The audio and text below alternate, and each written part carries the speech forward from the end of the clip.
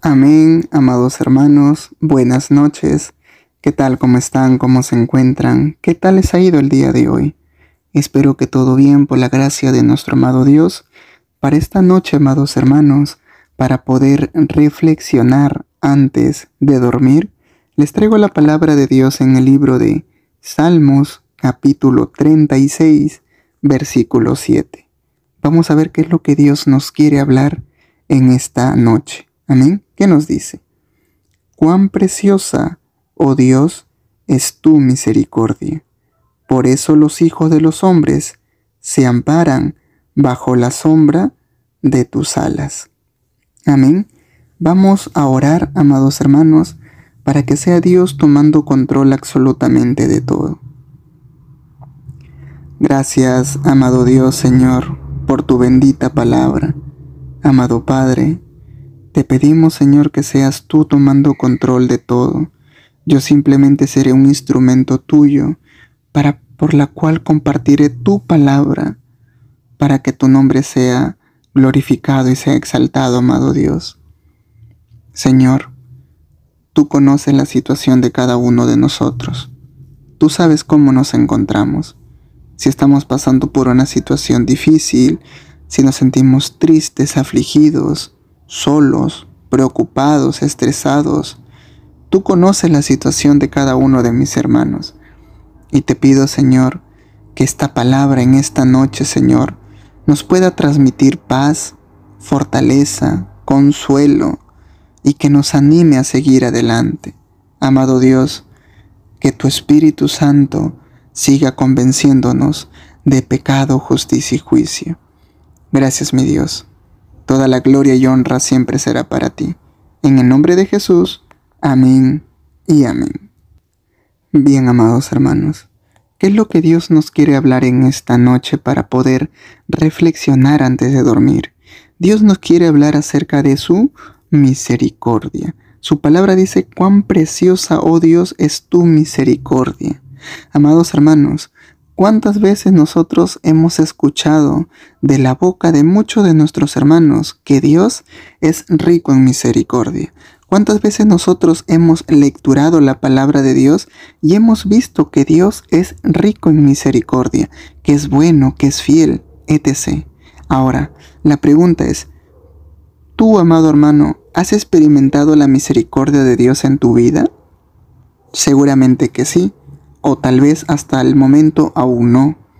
Pero miren, nosotros podemos decir qué grandiosa y qué maravillosa es la misericordia de Dios cuando nosotros cometemos algún pecado y a pesar de eso, Dios siempre está dispuesto a perdonarnos. Es por eso que dice en la parte de aquí, por eso los hijos de los hombres se amparan bajo la sombra de tus alas.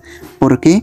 Porque nosotros sabemos que a pesar que cometemos algún tipo de pecado, a pesar que somos desobedientes, a pesar que somos rebeldes, si nos acercamos a Dios de una manera genuina, de una manera sincera, Él está dispuesto a perdonarnos y a limpiarnos de toda maldad, porque eso dice su palabra. Entonces, ¿qué pasa, amados hermanos? Muchas veces nosotros, porque sabemos eso, nos aprovechamos de la gracia de Dios. Pero eso es lo que nosotros creemos, que nos aprovechamos. Ahora, yo les pregunto algo. ¿Acaso Dios no sabe lo que pensamos y lo que sentimos? ¿Ustedes creen que nosotros, unos seres mortales, podemos burlar a Dios? ¿Podemos engañarle? No. Amados hermanos, no podemos. Dios sabe cuando tú te acercas a Él de una manera genuina. Dios sabe cuando tú te acercas a Él porque estás arrepentido del acto que has cometido. Así que, amados hermanos, hoy en día nosotros podemos decir cuán preciosos Dios es tu misericordia. Y tú, amado hermano, ¿cómo has experimentado la misericordia de Dios?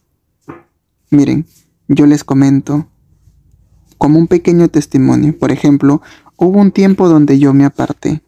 Hice muchas cosas que iban en contra de la palabra de Dios.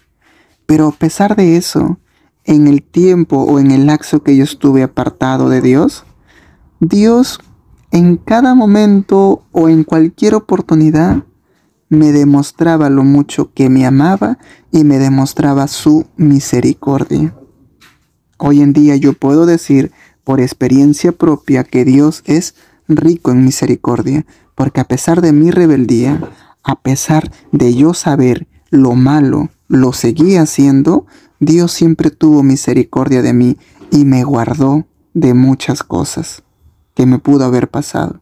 Ahora, tú, amado hermano, ¿qué es lo que hizo Dios por ti, por la cual tú puedas decir, sí, yo voy a decir y yo digo que Dios es rico en misericordia, no porque lo he leído, no porque me lo han dicho, sino porque yo lo viví, yo lo experimenté y yo puedo decir que Dios es rico en misericordia.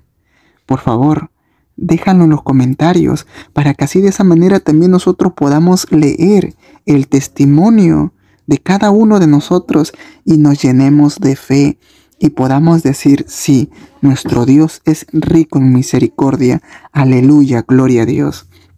Tal vez, amados hermanos, hay muchos, muchas personas en estos momentos viendo este video que solamente han escuchado que Dios es rico en misericordia, que solamente han leído que Dios es rico en misericordia, pero aún no lo experimentan. Entonces, amados hermanos, leyendo nuestro testimonio va a ser una motivación de fe para ellos.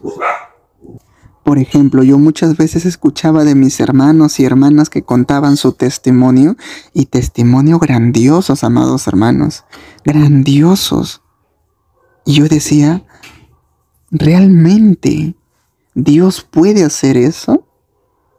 Realmente Dios tiene tanto amor por nosotros que a pesar que le fallemos, Él nos sigue cuidando, Él nos sigue amando. ¿Realmente Dios es así?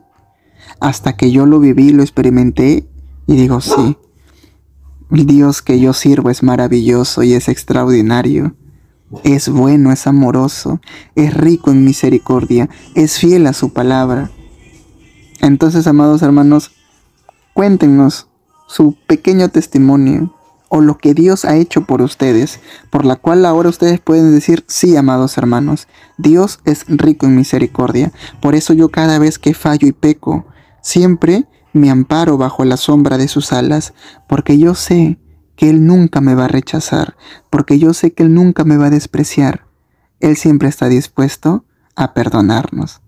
Pero no nos aprovechemos de eso, porque Dios conoce tu corazón y sabe lo que piensas. Amén. Tengamos cuidado con eso. Bueno, amados hermanos, les dejo esta palabra para que puedan reflexionar antes de dormir. Recuerden orar antes de dormir.